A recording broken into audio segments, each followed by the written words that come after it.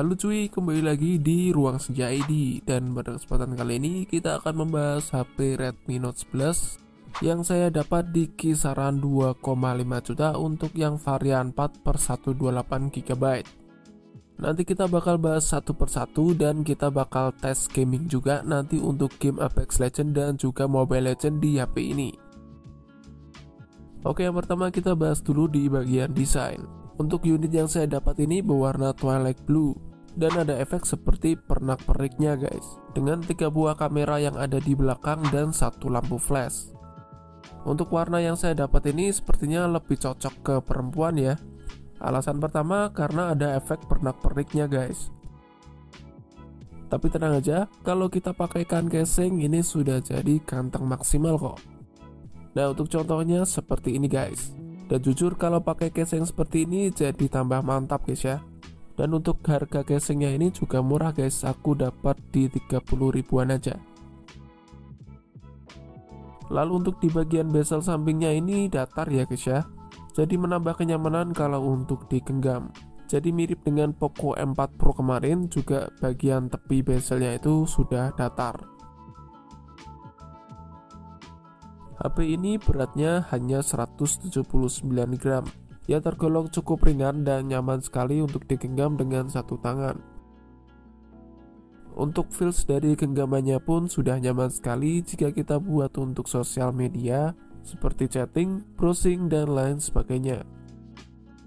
Di bagian layar, Redmi Note 11 ini sudah menggunakan layar tipe AMOLED dan jika kita buat untuk menonton YouTube untuk settingan dari kualitas videonya itu maksimal hanya di 1080p dengan 60 fps yang di mana belum bisa support di kualitas 2K maupun 4K ya guys ya. Wah sayang banget ya. Tapi untuk masalah dari warna, detail, dan ketajaman menurut saya ini sudah oke. Okay. Untuk HP kelas 2 jutaan sudah menggunakan layar AMOLED seperti ini menurut saya sudah mantap Kecerahannya pun bagus, overall puaslah sama layar AMOLED di Redmi Note 11 ini. Nah, bicara soal layar, di Redmi Note 11 ini juga sudah mendukung refresh rate layar 90Hz. Yang di mana jika kita gunakan sebagai sosial media, ini sangat mulus sekali cuy. Scroll-scroll, browsing, berpindah aplikasi pun terasa smooth. Dan fitur ini menjadi nilai plus di HP Redmi Note 11. Nah, lagi-lagi untuk fitur di Redmi Note 11 ini juga lengkap. Sudah ada NFC-nya pula, teman-teman. Di harga 2,5 jutaan, yang di mana Xiaomi itu nggak tanggung-tanggung untuk memberikan fitur segudang. Contohnya hadirnya juga Ear Blaster yang ada di HP ini. Dan ini sangat berguna sekali buat kalian yang lupa menaruh remote, mau TV, AC, apa pun lah itu. Tentunya fitur ini sangat berguna sekali. Dan gak tanggung-tanggung lagi, Xiaomi juga memberikan fitur dual speaker atas dan bawah. Dan menurut gua untuk hasil suaranya bagus dan clear ya untuk contoh suaranya seperti ini cuy.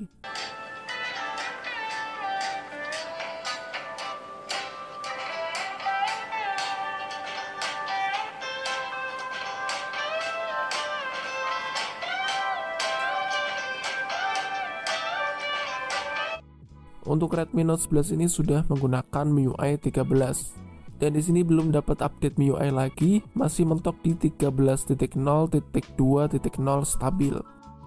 Lalu untuk versi Androidnya ini masih menggunakan versi Android 11 dan belum update ke versi Android 12. Lalu kita coba tes untuk multitouch-nya dapat berapa multitouch di HP Redmi Note 11 ini. Oke, kita coba tes di sini dengan 10 jari dan terbaca di 10 jari ya teman-teman. Jadi ini sudah mantap. Dan kita juga tes apakah ada delay touch atau ghost touch di HP Redmi Note 11 ini. Kita tes menggunakan aplikasi Real Drum dan untuk hasilnya kurang lebih seperti ini.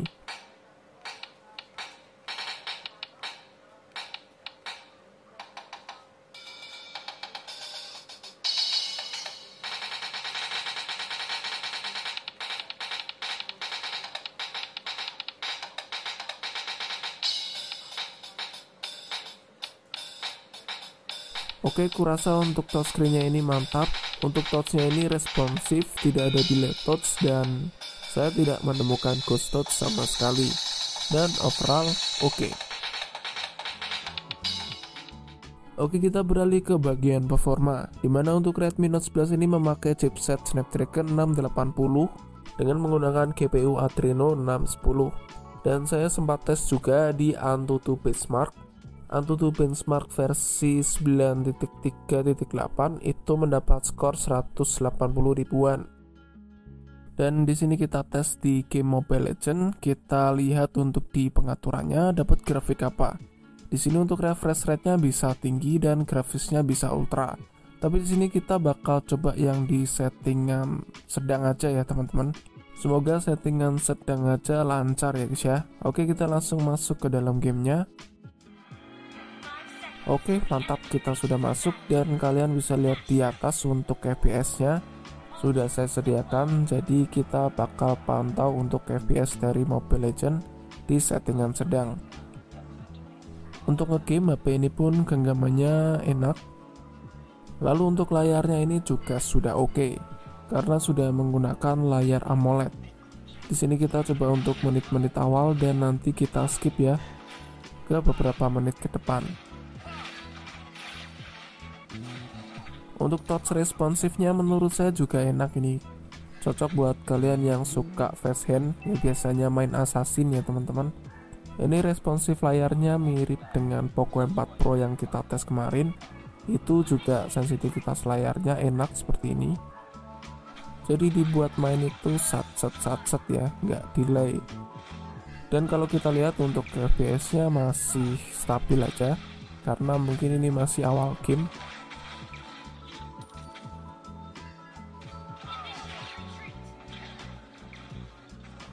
kita coba skip ke menit-menit berikutnya. Dan FPS nya masih bisa tergolong cukup oke okay, karena di sini belum pernah menyentuh ke 50 fps ke bawah. Jadi ini masih berada di 50 fps ke atas. Oke untuk settingan medium kurasa untuk Redmi Note 11 ini masih nyaman dibuat main game Mobile Legends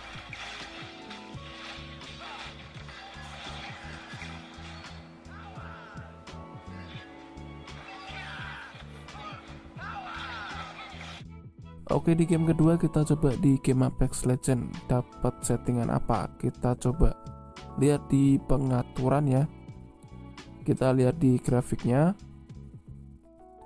Nah di sini untuk Apex Legend kualitas grafiknya bisa di normal dan frame rate-nya tinggi. Jadi ini settingan maksimal ya di normal dan tinggi. Dan kita coba on kan semua nanti bagaimana untuk performanya kita langsung tes aja guys. Oke, rata kanan. Langsung aja kita main.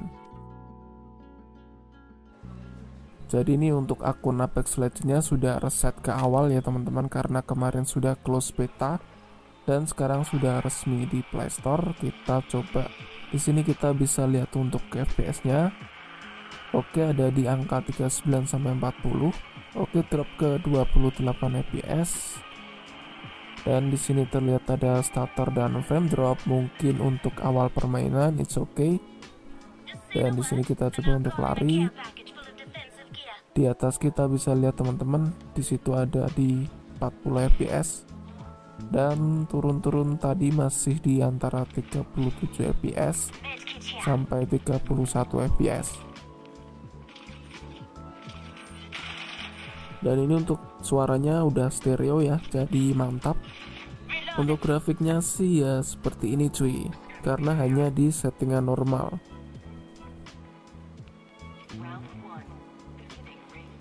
Tapi overall ini masih playable ya teman-teman. Maksud saya untuk dibuat main game ini masih nyaman. Meskipun settingannya hanya mentok di normal dan untuk FPS yang didapat pun di sini masih oke-oke aja karena bisa di sekitaran 30 fps ke atas meskipun memang kadang-kadang terjadi frame drop tapi untuk ke game tipis-tipis pakai HP ini sih masih oke okay.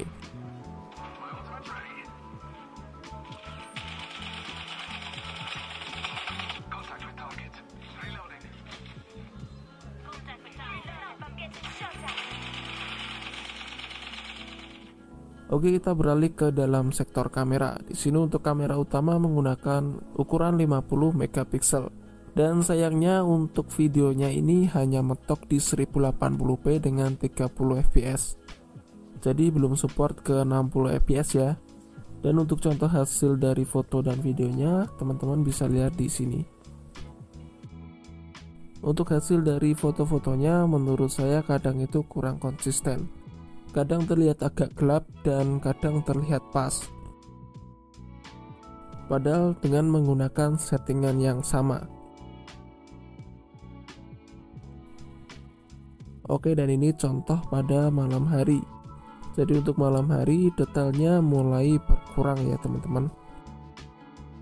Dan ini contoh dari kamera ultrawide-nya. Ini mantap sih untuk kamera ultrawide-nya. Nampak lebar sekali dan ini adalah hasil dari video 1080 dengan 30 fps menurut saya agak gelap ya padahal kondisinya ini cerah sekali. Seperti shadownya atau bayangannya itu kurang terangkat. Dan ya kurang lebih seperti ini untuk hasilnya nanti kalian sendiri yang menilai. Dan ini zoomnya kita coba zoom. Oke kurang lebih seperti ini untuk zoomnya juga kurang mulus ya teman-teman. Dan ini untuk hasil dari kamera ultrawide nya untuk lebarnya ini mantap sekali ya teman-teman. Tapi sekali lagi untuk shadownya tetap aja kurang terangkat. Tapi overall saya lebih suka di kamera ultrawide nya ya dibanding di kamera utamanya. Karena di sini terlihat lebih cerah sedikit